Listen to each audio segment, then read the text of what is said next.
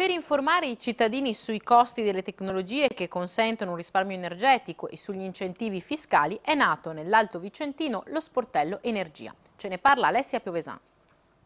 Informazione gratuita su incentivi e offerte di mercato. Spesso chi vuole ristrutturare casa risparmiando energia grazie a pannelli solari o fotovoltaici ne ha bisogno. Dieci comuni dell'Alto Vicentino, Arsiero, Breganze, Marano, Piovene Rocchette, Sant'Orso, Sarcedo, San Vito Leguzzano, Tiene, Tonezza e Zugliano hanno aperto, investendo 20.000 euro, uno sportello energia, un punto di consulenza serale attivo dal 12 gennaio per un anno e gestito da Legambiente. Si può risparmiare molto e inquinare meno?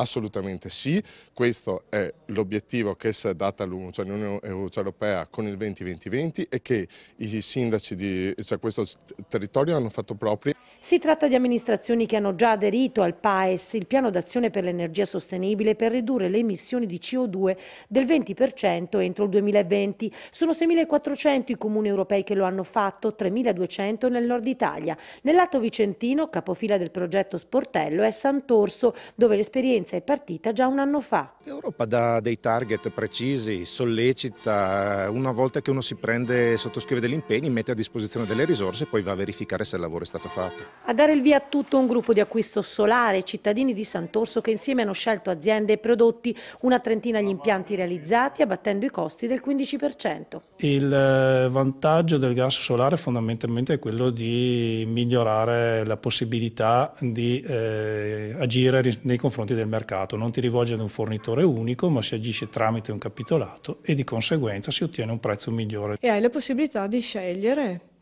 cosa che da solo come privato non avresti una cosa comparabile.